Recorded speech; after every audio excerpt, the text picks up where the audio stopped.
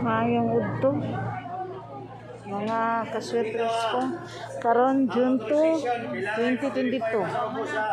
Mao na yung mga pasamangil ni Pisces. So, kamo na yung bahala na.